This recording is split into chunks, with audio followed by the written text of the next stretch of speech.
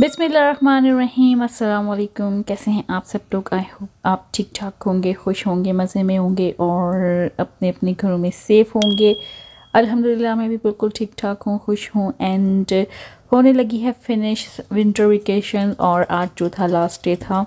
सो so, वैसे भी Sunday का डे था तो मेरा बहुत दिल कर रहा था कि मैं जो हूँ समोसा खाऊँ क्योंकि बहुत कम ऐसा होता है कि मैं इस तरह के हैवी फूड्स जो है ना वो खाती हूँ। हालाँकि मुझे समोसा वगैरह इतना ज़्यादा ऑयली चीज़ें खाना पसंद नहीं है। लेकिन जैसे मीठा जो है ना वो मेरे घर में बहुत ज़्यादा बनता है। लेकिन पिछले टू थ्री डेज़ से जो था ना मुझे बहुत दिल कर रहा था कि मैं समोसा वगैरह जो है ना वो खाऊं। तो आज मैंने अपने हस्बैंड को बोला कि भाई आज मेरा समोसा खाने को दिल कर रहा है तो हम लोग आज बाहर निकले हैं।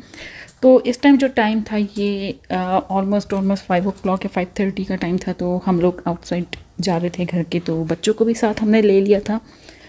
क्योंकि काफ़ी टाइम से ये लोग भी बाहर नहीं निकले थे और आपको पता है कि घर में बैठ बैठ के बच्चों को भी फ्रस्ट्रेशन हो जाती है। साथ में अगर आप थोड़ा सा खुली हवा में ना जाएँ तो वो आपके लिए भी अच्छा नहीं है। सो so, मैंने कहा अपने हस्बैंड को चलो बच्चों को भी ले लेते हैं साथ में थोड़ी सी उनकी आउटिंग भी हो जाएगी और हम थोड़ा सा बाहर घूम फिर कर भी आ जाएँगे। तो यहाँ पे जो हम लोग जा रहे थे खाने के लिए मैंने तो लिया था अपने लिए समोसा की चाट मेरे हस्बैंड ने ले ली थी मेरे लिए। प्लस बच्चों के लिए हम लोगों ने फ़ालूदा ले लिया था क्योंकि उनको फ़ालूदा बहुत ज़्यादा पसंद है वो इतना पसंद करते हैं फ़ालूदा। तो मैंने सोचा, चलो आज उनको फालूदा भी खिला देते हैं। तो आप यहाँ पे देख सकते हैं कि भी थोड़ी बहुत लाइटिंग वगैरह हुई हुई है, यानी कि क्रिसमस का कुछ टाइम वगैरह चल रहा था और क्रिसमस की छुट्टियाँ हुई हुई थी और क्रिसमस के बाद न्यू ईयर था तो लोगों ने इतना डेकोरेट तो नहीं किया था लेकिन जितना भी था वो यानी कि काफ़ी अच्छा हुआ हुआ था।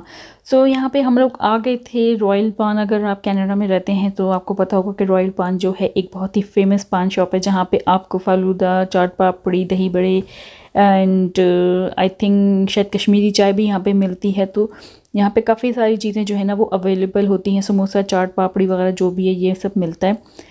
सो so, यहाँ पे आप देख सकते हैं कि बहुत से लोग जो है ना वो पसंद करते हैं इवन के गोरे भी जो है ना वो बहुत शौक से खाते हैं। तो यहाँ पे जो है मेरे हस्बैंड गए और उन्होंने जाके जो पहले से ही चाट पापड़ी वगैरह लेकर आके थे ऑर्डर दे दिया था। सो so, ये उसी दिन की वीडियो है जब मैंने दोपहर के टाइम पे जो है ना खाना वाना बना रही थी तो ये मैंने बनाई थी स्टेक्स जो कि मेरे बेटे को बहुत पसंद है वो बहुत शौक से खाता है। तो यहाँ पे मैंने स्टेक बना के इसको अब थोड़ी सी सिजलिंग पैन में जो है ना वो मैं डाल रही थी ताकि थोड़ा सा ये धुआँ धुआँ सा आए स्मोकी है तो मुझे काफ़ी ज़्यादा अच्छी लगती है। साथ में मैंने यहाँ पे ग्रिल किया हुआ वेजिटेबल्स भी डाल दी था जो मैंने ऑलरेडी सॉटे किया हुआ था अलग से पैन में। तो इसकी रेसिपी तो मैंने फ़िलहाल शेयर तो नहीं की है।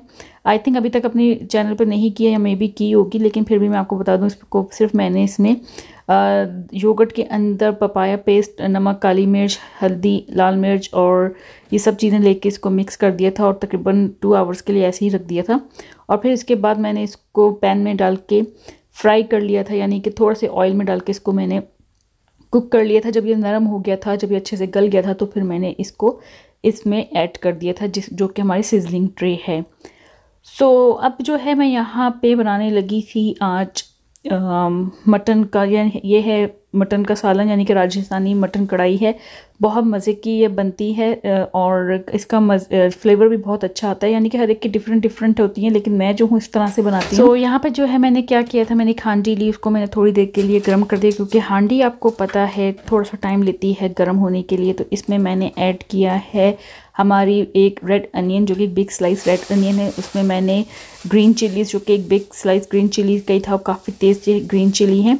और साथ में मैंने इसमें ऐड कर दिया था हमारे जिंजर और गार्लिक के जो होते हैं जूलियन जिंजर काटी थी और गार्लिक भी मैंने इसी तरह से चॉप करके इसमें ऐड कर दिया था। और इसको ऑलमोस्ट थर्टी मिनट्स के लिए मैंने हल्की आँच पे वन कप वाटर के साथ गोश्त गलने तक के लिए पकाया था, यानी कि हाफ़ कुक की मैंने किया था फोर्टी परसेंट मैंने इसको हाफ़ कुक कर लिया था। जब ये हाफ़ कुक हो जाएगा फोर्टी परसेंट तो अब आप देख सकते हैं मैंने इसको अनकवर करके और अब इसको मैं अच्छे से मिक्स कर रही हूँ, देख रही हूँ कि भाई ये सब चीज़ें डन हो गई हैं कि नहीं। और जब ये यहाँ पे हो गया है तो अब मैं, हम यहाँ पे अपने स्पाइसेस डालेंगे। स्पाइसेस में जो है, मैं ले रही हूँ सॉल्ट जो है मेरे पास पूरा वन टेबल स्पून के करीब, आप अपने टेस्ट के हिसाब से लीजिएगा। प्लस यहाँ पे मेरे पास है क्यूमन पाउडर जो कि, यानी कि भुना हुआ ज़ीरा, हल्दी हाफ़ टी स्पून काली मिर्च हाफ़ टी स्पून ज़ीरा one tablespoon coriander powder one tablespoon लाल मिर्च हाफ़ टी स्पून और कुटी हुई लाल मिर्च वो भी हाफ़ टी स्पून है।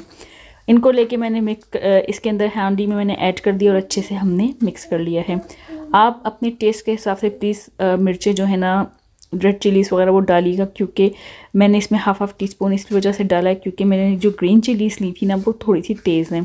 तो उसका जितना भी फ्लेवर है वो इसके सालन में गोश्त में आ गया होगा। अब मैंने इसको अच्छे से भूनना है मिक्स करना है, तकरीबन टेन मिनट्स के लिए मैंने इसको अच्छे से मिक्स करना है ताकि जितने भी हमारे स्पाइसेस हैं वो इसमें मीट में अच्छे से मिक्स हो जाएँ। उसके बाद हमने इसको दोबारा कवर करके ऑलमोस्ट ऑलमोस्ट थर्टी मिनट्स के लिए और पकाना है। मैं जो हूँ, मटन वगैरह जब भी बनाती हूँ तो उसको थोड़ा टाइम देती हूँ, ताकि इसका जितना भी रूमा इसकी जितनी भी बोन्स में जितना भी रूमा है ना, वो अच्छे से मिक्स हो जाए, ठीक है? अब यहाँ पे आप देख सकते हैं आफ्टर थर्टी मिनट्स के बाद ये डन हो गया है तो मैं इसके अंदर ऐड करूँगी ऑयल ऑयल जो है, वो मैं हाफ़ कप से कम लूँगी, क्योंकि इसकी जो बोन्स होती है ना, इसके अंदर ऑलरेडी ऑयल जो होता है, वो छोड़ देता है। जिसकी वजह से काफ़ी ज़्यादा इसमें ऑयल आ जाता है ठीक है? सो अब ये जो है हो गया डन और मैं इसको इसमें ऐड कर दूँगी हमारे कोरिएंडर के लीव और फिर इसको मैं डिश आउट कर लूँगी। सो so, यहाँ पे मैंने कोरिएंडर के लीव्स जो हैं वो मैंने ऐड कर दी और आप देख सकते हैं ये डन हो गया है रेडी है।